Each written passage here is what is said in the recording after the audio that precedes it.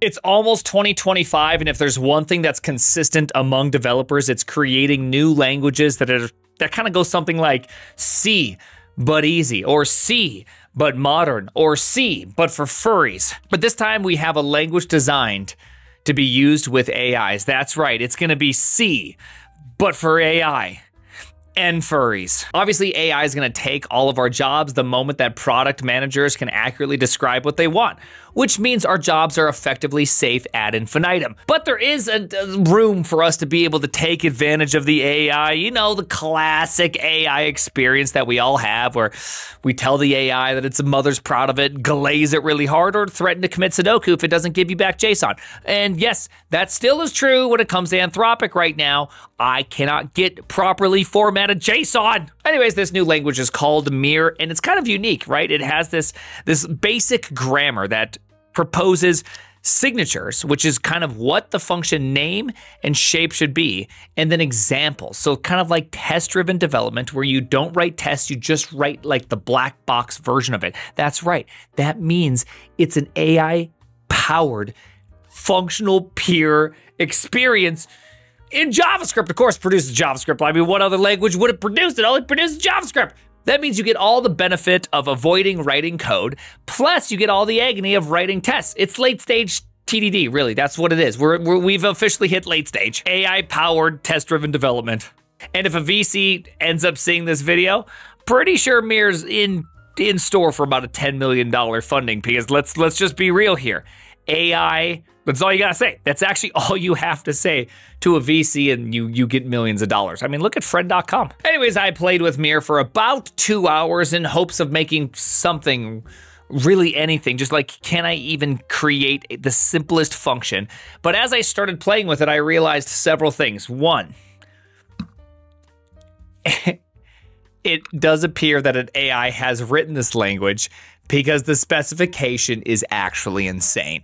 Look at this literals. Literals is one literal and an optional zero or more literals. What syntax is that? I don't know, but you eventually kind of figure it out. You go on over to literal and you look at the list type, you'll notice that it's in brackets, literal. Okay, so what does that mean? That means you can only produce a list of one item. It's just an inconvenient variable. Like, oh my gosh. What is the specification? And when, of course, when you look into the types, you'll see right here that you can produce a list with a type or a dict with a type. What did, what did, why, why are there malformed dicts? I never thought I would ever see a malformed dict, but here I am, 2024, almost 2025, and I can't stop saying, what is a one-typed dick? What is a one-typed dick? Is that like supposed to be a set? That's not a dict, dog. What is, what is that? This specification is a lot like kind of buying off brand cereal. You know, it has all the proper shapes and everything, but the moment you actually try it out, it's not the same. It hits differently, it does not feel good. So, of course, I did the only thing that I could possibly do. A, fix the list. Boom. Also, turns out you can only have positive integers. So, fix the integers. And look at that. What is that? Is that a regex? Yeah, that's right. There's a regex in a parser. How you, built the tokenizer and then you're using a regex? Oh no! Dog, I heard you like parsers, so I put a parser in your parser. This project clearly has a lot of AI influence because the types and the setup is just, it just feels all crazy. But you know what? We got it fixed. I didn't fix the dicks though. I don't think anything can fix that dick. That is one malformed dick. So I left that aside and I figured, okay, let's solve a problem using lists as my data structure. I know, convenience, developer experience, all wrapped up into one data structure, list. All right, so the problem I decided to do was AABB collision with the point. All I want is an axis aligned bounding box and a point. Also, thank you for the sub, appreciate that. Hey, Zippy, thanks for that offline sub, Zippy. All I want is an axis aligned bounding box and a point. I'm simply going to have something that takes in a list of height, width, and its x and y position, and then it's something else that's just a list of x, y position. And now I'm just going to have to specify a bunch of examples and hope that it produces out the code that I wanted to produce. So here, right here, is my first attempt and here's the code that it produces. Now, just one quick look at it, we'll see that it produced just exceptionally incorrect code, and I know right now I can hear them. I can hear them charging all the way in, starting to yell, getting all frothy at the mouth. The AI proomed maximalists are like, well, actually, you didn't give a you didn't give enough prompting. Okay, that's the problem is you didn't give enough examples. Your examples weren't good enough. I don't think you actually know what you're doing. See, the thing is, if you just understood prompting, you'd be able to prompt better, and clearly you don't understand prompting. Of course I don't. It's brand new language that I had to fix myself. So I'm going to give it more examples. And obviously, a second clear problem with this approach is that there's no like check boxes where I can say how much and by what extent I wish to either uh, threaten self harm, harm to the mother, or glaze the AI. So obviously, probably not going to get it correct. And does it even tell the AI not to hallucinate? Another really valuable strategy? I don't even think it does. Anyways, gave a whole bunch more examples and got a new piece of code, which in fact still does not work. If you couldn't understand why this code was wrong, look at it. Input zero, let's call that X, and input one, let's call that Y if input x is greater than any element within that element list and input 2 is less than or equal to the element adjacent to it, it's considered containing. Like that's crazy. Like how did they get that? How did it get this answer? At this point, I'm 2 hours into fixing bugs and producing absolutely nothing.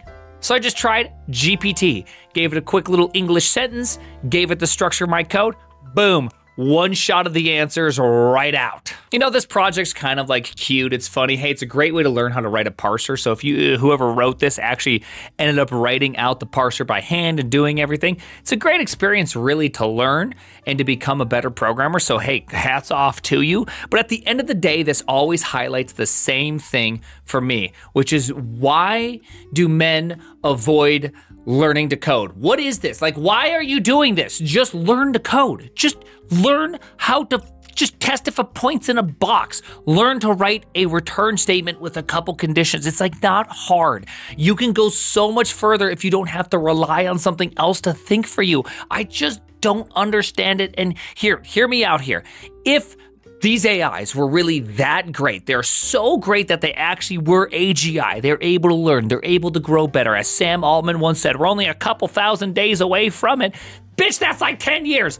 Anyways, also that's a crazy way to say that. Who who describes time windows in days? Like, oh yeah, it's just it's just like 3600 days away. 10 years. You can just say 10 years and no one's upset at you, Samuel. It's strange. But anyways, but even if these companies do produce something that actually can really produce good code, you just got to understand something. Why would a company sell a product that can build anything? Why wouldn't they just harbor those trade secrets and build everything? Right? Like, why would you sell the infinite intelligence tool? Think about it for a couple. It makes no sense. Like you would be able to compete with every product and start company after company after company after company over and over again. Having super AI would be the most valuable thing in the universe. So why ever would they just simply sell it? They wouldn't because they'd be able to make everything at the speed of like light. It'd be crazy. Let's just say that the AI companies do fumble the bag and accidentally sell the greatest product ever that can produce anything in a snap of the fingers with just a basic few text prompts. Let's say that does happen. You having hard skills is gonna be absolutely incredible, right? Like learning how to be technical and talented and solve problems large on large scales will only help you. It will only make you better. It will only make you more valuable. And when that inevitable day comes, whether it's in 10 years or a thousand years, that AI can just do so much, your technical skills will still be valuable. Stop making the trade. It's not a trade. You don't have to make the trade. Like you really don't. You can just like learn and have fun and build stuff and become better at your craft. The name is the Primeagen.